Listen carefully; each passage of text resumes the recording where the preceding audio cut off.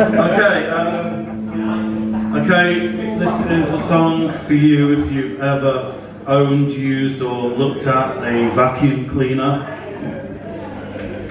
It's called... Wait for it. Anticipation. Vacuum cleaner.